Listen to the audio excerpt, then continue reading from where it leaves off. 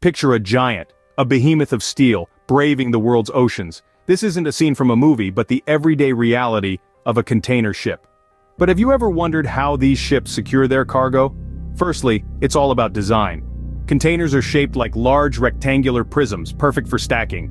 They're placed in cell guides, vertical steel rails that keep them in position. Secondly, safety is key. To prevent toppling, twist locks are used.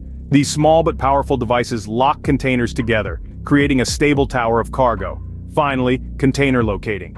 Each container has a unique identification number, allowing shipping companies to track their cargo anywhere in the world.